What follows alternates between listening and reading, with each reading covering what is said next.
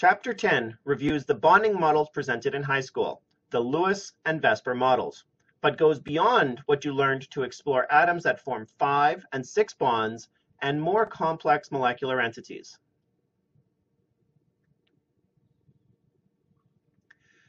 Please take a second now to reflect on how you learned the Lewis and VSEPR bonding models in high school.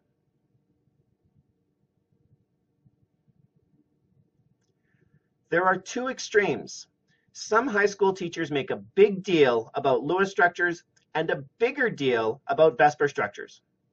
Other teachers blend the two together and focus on VSEPR structures. Quite simply, Lewis structures by themselves often provide inaccurate information on molecular entities.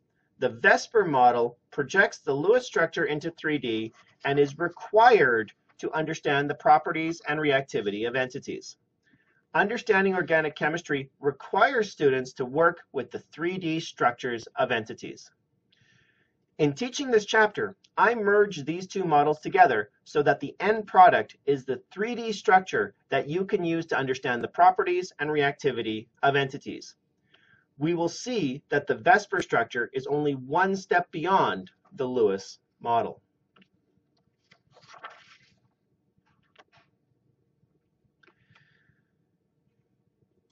Avogadro is a program that allows users to visualize molecules in 3D. It is free, it is good, and it is powerful. I will be using Avogadro in class, and I encourage you to use it as well. Students taking organic chemistry can visualize the larger organic entities they are studying. Indeed, Avogadro can visualize entities the size of proteins. As you play with the program, you will realize that creating 3D structures is just a fraction of what this program can do. If you continue on in organic or physical chemistry, you will find this program useful. Avogadro interfaces to research-grade computational chemistry programs, which you will see in advanced physical chemistry courses.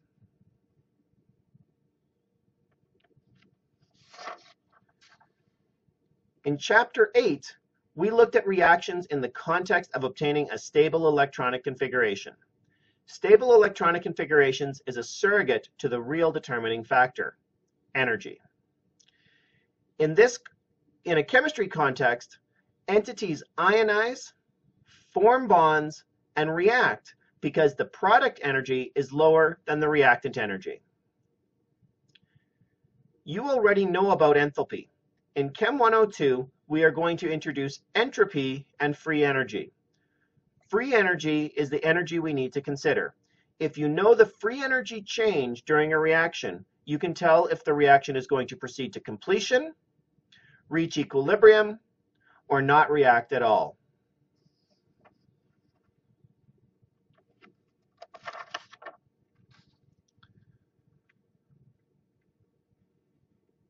While the Lewis-VSEPR model is a classical in nature, we know about the quantum mechanical nature of atoms. There are a lot of links between the Lewis-VSEPR model and the quantum model. I will be highlighting the links in this chapter. An electron domain is a group of bonding or non-bonding electrons. Bonding domains exist between two or more atoms. Non-bonding domains exist on a single atom. Each domain can contain up to eight electrons, with two, four, or six electrons being common. Non-bonding electrons are the lone pairs of electrons that exist around some atoms. From Chapter 8, we know that orbitals contain electrons. An electron domain is a collection of one or more orbitals. It is not a coincidence that chemical bonds contain two electrons. Two electrons exist in one orbital. A single bond with two electrons is comprised of one orbital. A double bond with four electrons is comprised of two orbitals. And a triple bond with six electrons is comprised of three orbitals.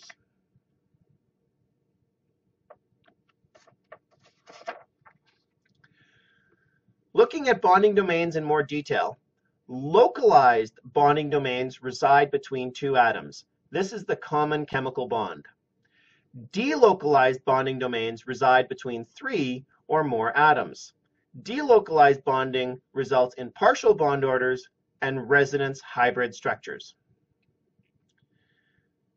Looking at the figure, the only difference between the two resonance structures is the location of the double bond and the negative charge. These structures are equivalent. However, neither of them is correct. When we experimentally analyze the carboxylic acid group, we see two equivalent oxygen with the bond length between that of a formal single bond and a formal double bond. And both oxygens have the same electron density distribution. To get equivalent oxygen atoms, we average the resonance structures to get the resonance hybrid structure. The bonds are averaged and the charges get averaged. The average charge on each oxygen is minus 1 half and the average bond order is 1.5. I want to emphasize that the structures on the left do not exist. There is no rapid flipping back and forth. What exists is the structure on the right. And when we look at bonding from a quantum mechanical perspective, we will see that the structure on the right comes directly from a consideration of the available orbitals.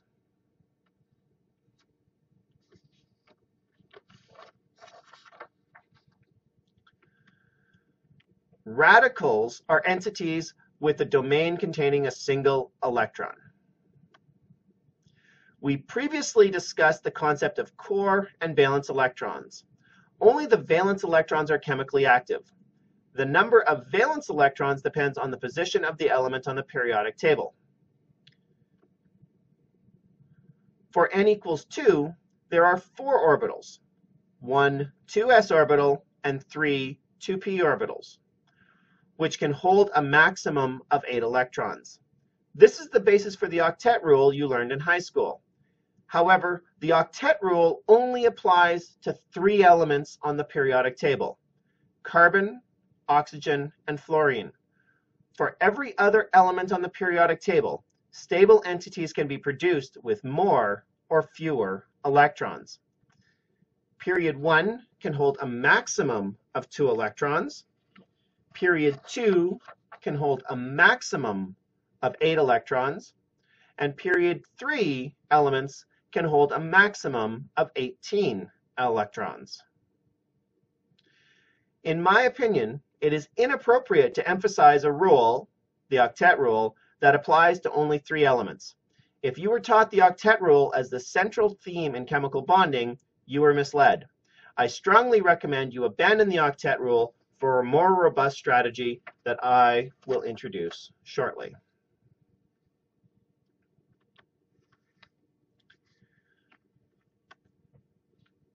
We have already discussed oxidation state, which assumes the bonding electrons are transferred to the most electronegative atom.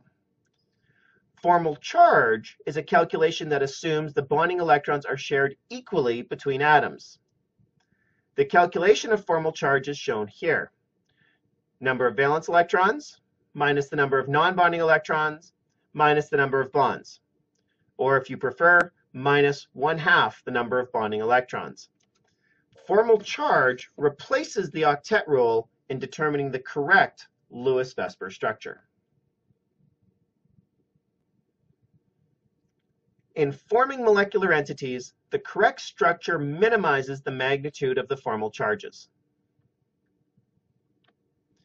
In application, we also distribute the charges according to the atom's electronegativity, ensure the sum of the formal charges equals the charge on the entity, just like with oxidation states. And what we find is that if two adjacent atoms have opposite formal charges, it may be possible to form a bond.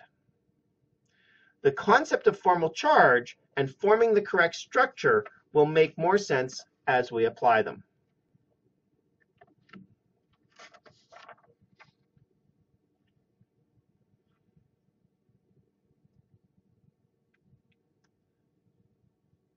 So now we're just going to determine the formal charges of these three entities and form bonds to reduce the formal charges to zero.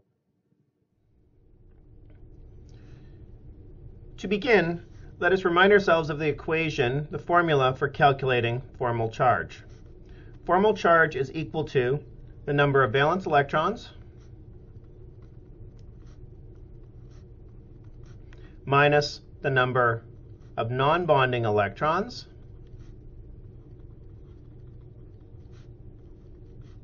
minus the number of bonds. Or if you prefer, minus half the number of bonding electrons. The first structure we would want to apply this to was that presented here. So to first look at the hydrogen, hydrogen has one valence electron. It has zero non-bonding electrons surrounding it, and it is forming one bond. So the formal charge on the hydrogen is currently zero. On oxygen, oxygen has six valence electrons. There are four non-bonding electrons around the central oxygen, and it is forming two bonds. So it also has a formal charge of zero.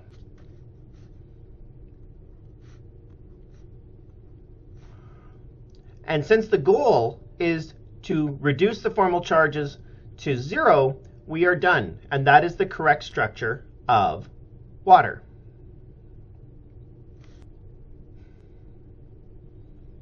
The second entity we looked at had this structure.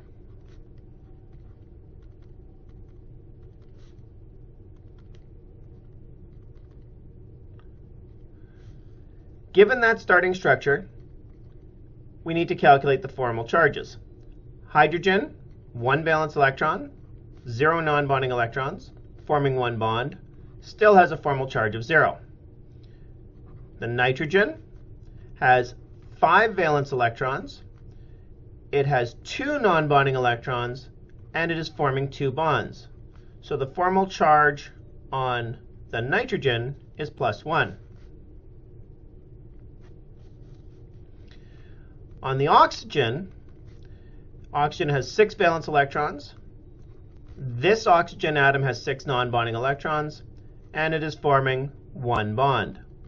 So the formal charge on the oxygen is minus 1.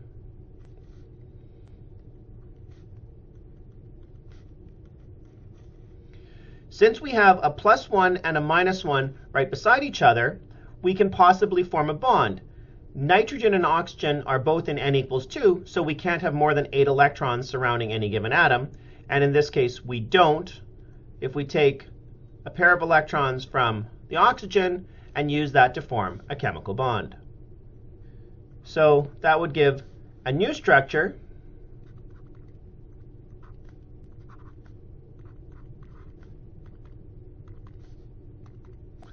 like that. And Hydrogen we haven't touched, so its formal charge is still 0. Looking at the nitrogen, we have 5 valence electrons, 2 non-bonding electrons, and it is now forming 3 bonds, so it has a formal charge of 0. And for oxygen, 6 valence electrons, 4 non-bonding electrons now, and it is forming 2 bonds. So it also has a formal charge of 0.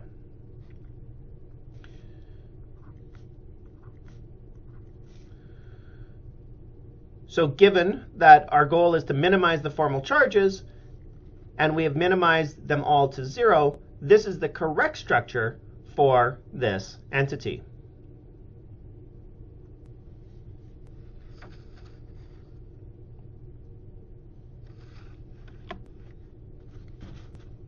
The last entity we were asked to determine the formal charges for has this structure.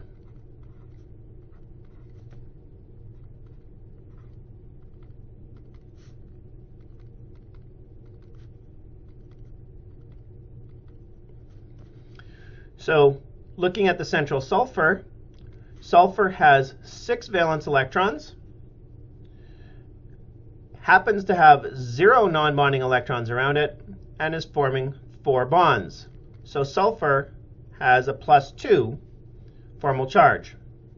The double bond to oxygen, 6 minus 4 minus 2, has a formal charge of 0. And the single bond to oxygen has a formal charge of 6 minus 6 minus 1, which is minus 1. So the central sulfur is plus 2, the double bond to oxygen is 0, and these two oxygens, which are the same, have a formal charge of minus 1. Note that we have a positive and a negative right beside each other, so we should be able to take two electrons and form a bond between the two. Also note that sulfur is not in n equals 2. So it can have more than 8 electrons around it. So when we do that, we get the structure.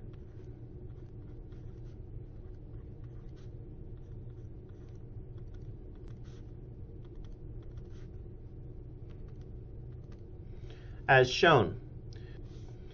We already know that a double bond oxygen has a formal charge of 0. And so we only need to recalculate the formal charge on the central sulfur.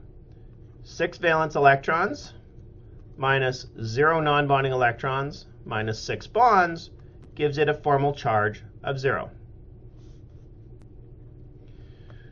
So now we have reduced the formal charges to 0 for this entity as well, and that is the correct structure of SO3.